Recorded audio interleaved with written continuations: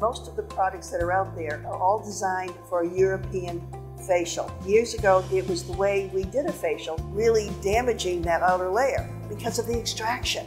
And uh, if you had very uh, delicate skin like mine, you know, you look like someone really beat you up. And if you had a lot of um, uh, clogged skin, you really look like raw hamburger, we like to say when the client got done. So then they were very particular of when they were going to come and get a facial. But now with the advent of an ultrasonic machine, they don't have to look like that anymore. They go out looking glowing, even when we've had to do a lot of extractions. Because once again, ultrasound is anti-inflammatory. So when they leave, their skins look glowing. Women can put on makeup right away, go out to lunch, go out to dinner, and really feel spectacular.